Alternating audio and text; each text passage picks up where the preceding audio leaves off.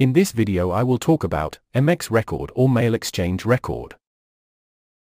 MX record is a DNS record, pointing where the emails for the website domain must be sent. That is, which email service is responsible for handling email for a given website domain.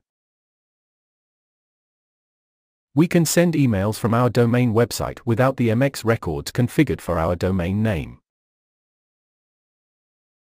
but we won't be able to receive any emails being sent by others to our website email without setting up MX records. Whenever we change our domain name servers, we will get a new IP address, which has to be updated in MX records, where the A records has to be altered accordingly. Watch the next part of this video, where I will be showing you the actual process to change MX records. You can see here on the screen the MX and A records. I will show you how to change and update them in the next video, the second part of this video. You can find the link to the second part of this video in the description section below.